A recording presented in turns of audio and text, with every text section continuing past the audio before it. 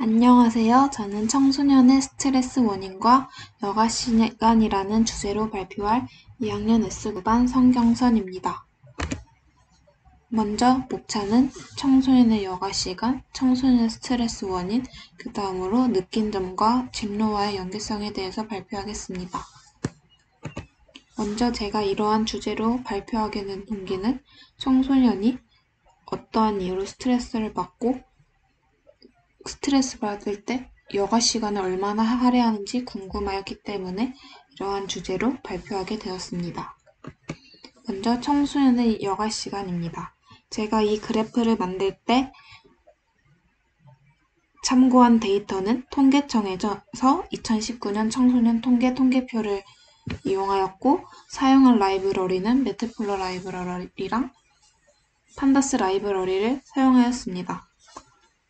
먼저 볼 수 있듯이 청소년의 여가 시간은 1시간에서 2시간으로 제일 많고 그 다음 두세 시간, 그 다음으로 1시간 미만이 가장 많았다는 것을 알 수 있었습니다. 다음으로 청소년의 스트레스 원인입니다.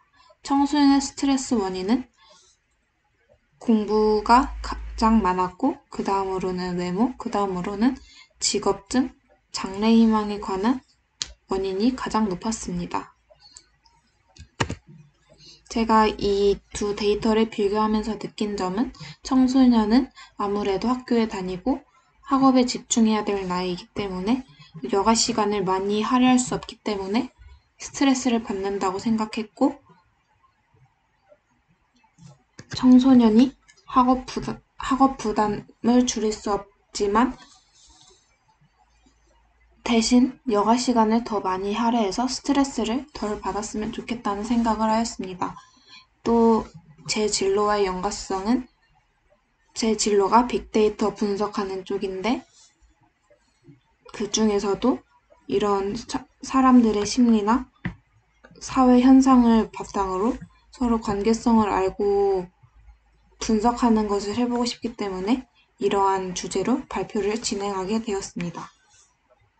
이상 발표를 마치겠습니다. 감사합니다.